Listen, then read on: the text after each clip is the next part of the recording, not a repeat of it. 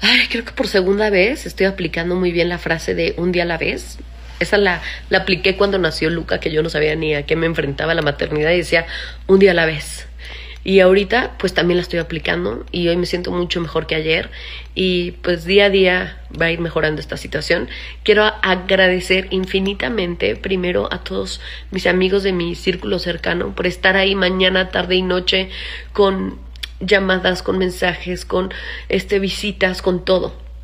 A mi familia, a Luca y a Oscar que han sido mi fortaleza en estos momentos y a todos ustedes de todos los mensajes tan bonitos que me mandaron, muchas mamás que se identifican pues de repente con esta situación y solo nosotras sabemos por lo que pasamos, así que pues mucha fuerza a todas.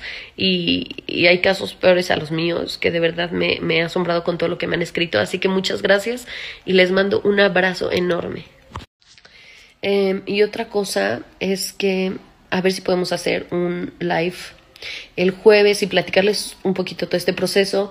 Me llegaron mensajes de mamás o de mujeres muy desalmadas diciendo que yo me estaba subiendo al escenario inclinado mientras estaba embarazada, lo cual es falso porque me caigo de risa, lo grabamos a inicio de año. Pero bueno, esa es otra historia. Este, el show debe continuar, así que yo estaré presentándome en la gira este fin de semana en San Luis creo que un poco de risas del público, de su cariño y de sus abrazos y de los niños me van a, caer muy bien, igual ver a mis hermanos disfuncionales.